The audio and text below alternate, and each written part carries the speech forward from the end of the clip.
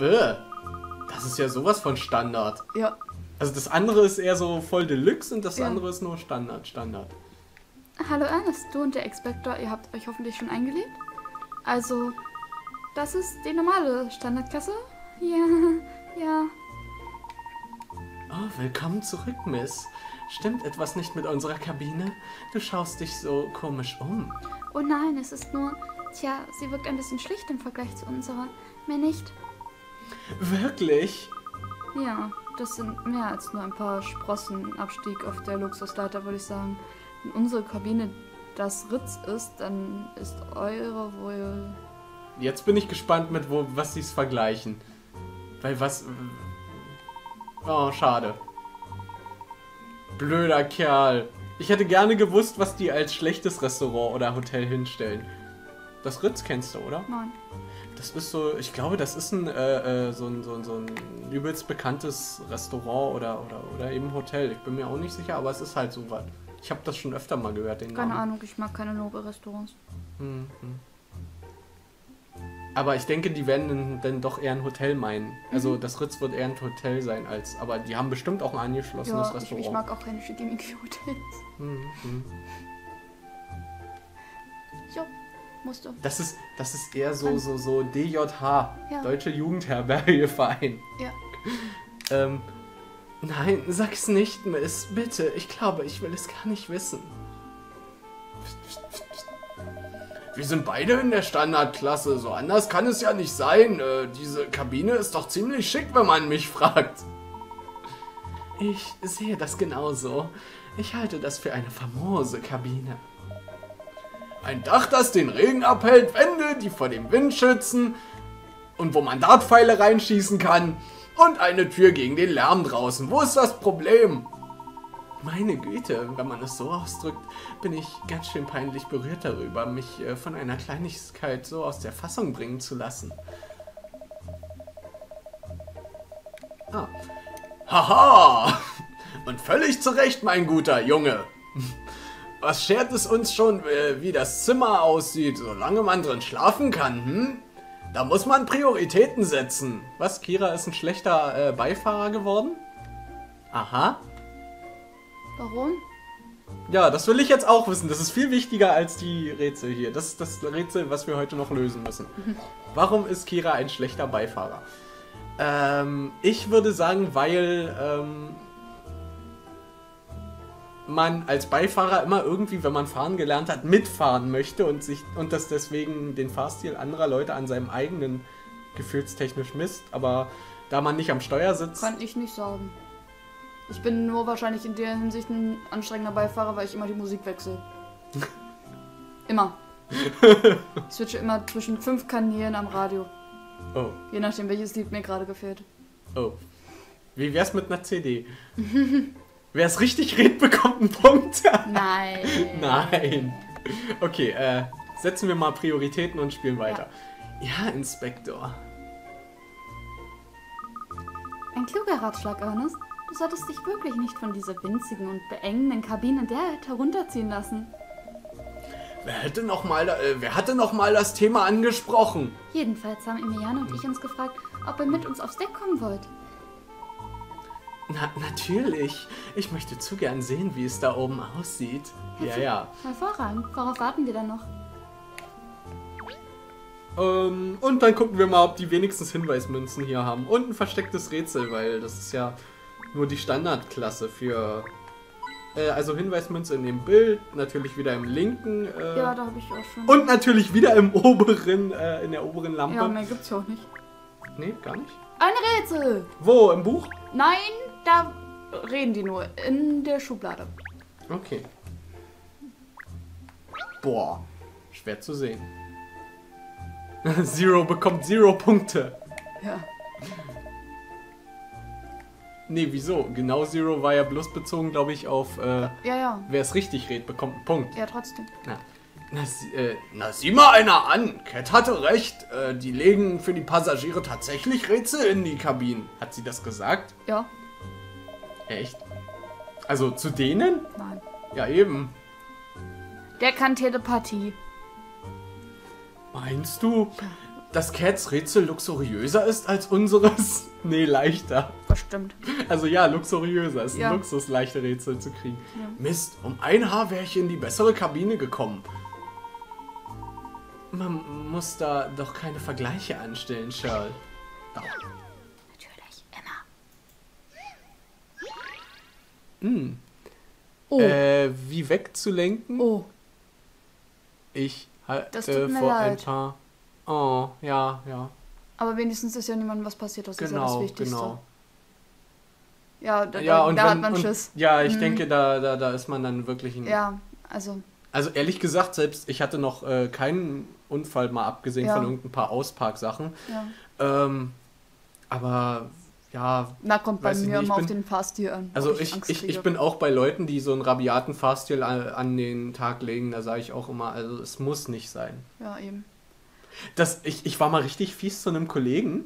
Ich bin Mhm. gefahren, weil er konnte nicht. Ja. Und äh, da, da bin ich extra langsam gefahren. Da war so Mhm. eine Kreuzung. Da war eine Seite sowieso eine Straße abgesperrt und die andere, Ja. die, da wäre nichts entgegengekommen, ja, weil ja, wir ja, wollten da ja, einbiegen. Ja. Ich möchte das bitte noch zu Ende erzählen. Ja. Und Alles gut. ja, du machst den Eindruck, als ob ich ganz schnell machen soll. Nein, und äh, da war ich richtig gemein und bin an dieser Kreuzung, die ja keine mehr war, durch die Absperrung, Ja, stehen geblieben. Naja, und. hätte mich auch aufgeregt. Ja, weil der Typ, nee, der Typ hat vorher immer die ganze Zeit gesagt, oh, fahr doch endlich schneller, oh, den kannst du doch überholen und ne, ne, ne, ne, ne. Und ich habe gesagt, nö, ich fahre in meinem Fahrstil und wenn du nicht willst, kannst du aussteigen. Weil ich will nicht rabiat fahren. Bin da sehr, Ähm, nee, wir Okay, wissen noch nicht, wann der nächste. Stream ist. nee, keine Ahnung. Weihnachten und so. Ja, also da können wir noch nicht so planen. Ja. So. So, hier haben wir einen kodierten Brief. Offenbar möchte jemand unbedingt etwas übermitteln, was sonst niemand wissen soll. Ähm, versuche den Code zu knacken. Die Antwort ist ein Wort mit vier Buchstaben. Es ist zwar kein deutsches Wort, aber du kennst es sicher. Es ist kein deutsches Wort. Schön, dass die das sagen. Ja. Okay, wollen wir? Ja.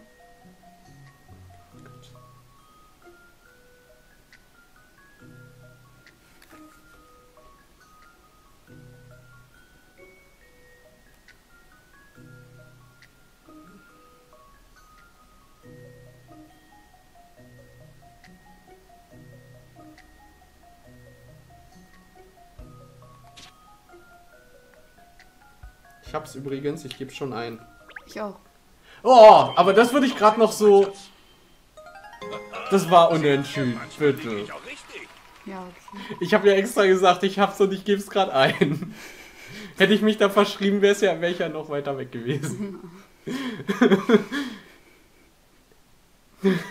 Mano! Ich hab Ey, das ist- gedacht- das ist ich echt krass gerade, Ich hab so- ich war. Ich hab gedacht, ich bin voll gut. Bist du auch, ich auch. Hm.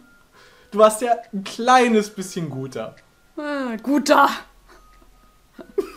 Vergewaltige nicht die deutsche Sprache. Wieso? Das ist die einzigste, die ich kann. All you need is love. Ach, da hast du jetzt nichts gesagt, oder wie? Nein, Das war nämlich gerade Absicht. ich weiß. Ah, okay. Mm, Ja, das war schnell klar.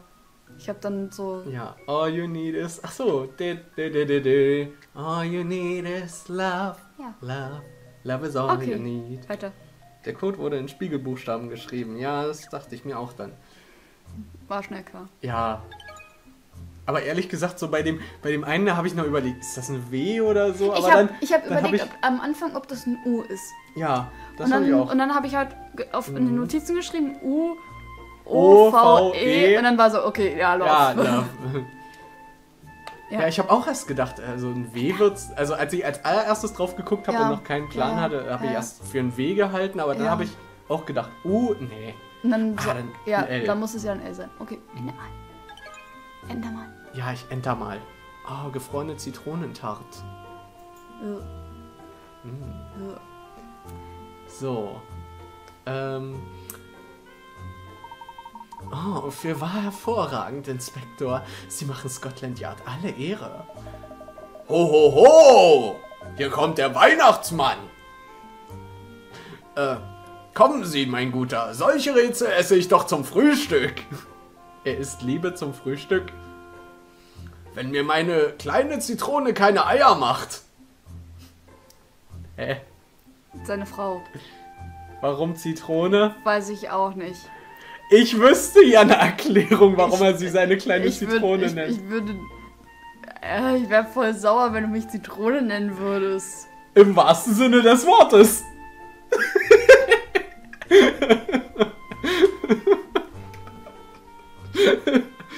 naja, deswegen meinte ich ja, ich hatte eine Erklärung, weil Ja, sie wohl immer ja. sauer ist. Ja, ja. Ja, ja. Oh, schön. Meine Frau ist sauer. Nee, seine Frau ist sauer. Mhm. Die von. vom Inspektor. ja, ich fand das schön, dass du gesagt hast, ich wäre voll sauer. Hast du es mit Absicht gemacht? Was? Gesagt, also, dass du voll sauer. Nein! Schade. Vom geschmückten Deck des Schiffs aus hat man einen prächtigen Ausblick. Hm, prächtig, prächtig. Richtig prächtig. Nein, nicht viel verpasst. Wir sind nur jetzt bei Gleichstand. Ja. Willkommen an Bord, meine Damen und Herren. Der Himmel über uns ist Wolken. Was ist der? Wolkenlos. Ja, nee, ist klar. Ich sehe es ganz genau. Da, da ist eine. Ja, aber man sieht die Sterne, das ist wichtig. Sternenklar kann er dann sagen. Ja, wolkenlos ist gleich sternklar. Oh, gelb und gelb, rund und sauer. Homer Simpson, wenn er Bart wirkt. ah. Äh, der Himmel ist mit wenig Wolken verhangen und wir haben eine perfekte Nacht für unsere Kreuzfahrt. Die Mannschaft trifft noch letzte Vorbereitungen vor dem Ablegen.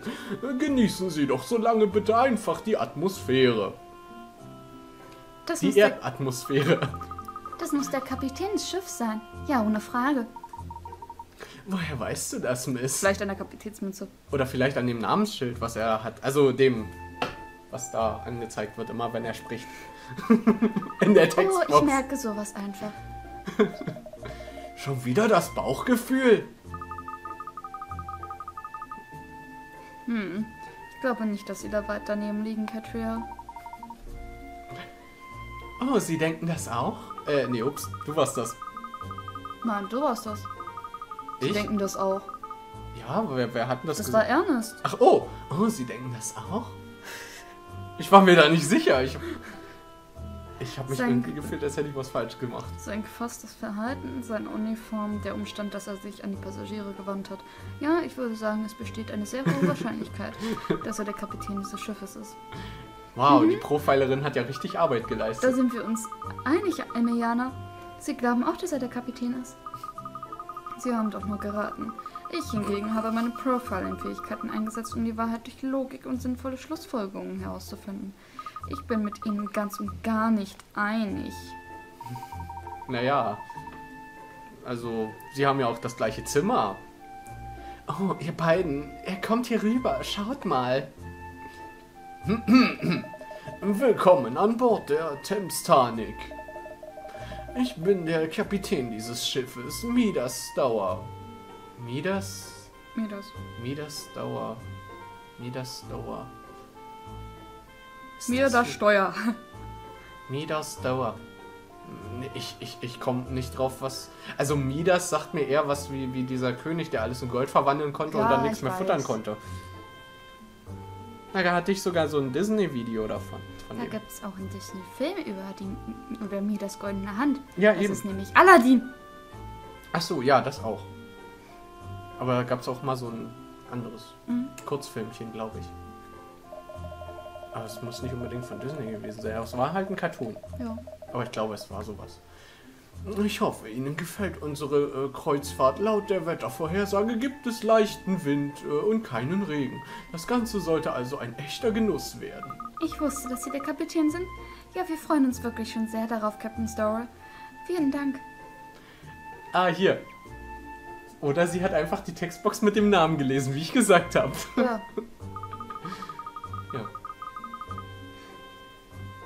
Okay. Ja, äh, wir freuen uns ja, das hatten wir ja. Ja. Bei meiner Treue, Ihr Schiff ist wirklich äußerst ansehnlich, oder? Es gefällt Ihnen, hm? Ja, für ein Kreuzfahrtschiff mag es klein sein, aber es ist groß genug für alle Annehmlichkeiten, die man sich wünschen kann.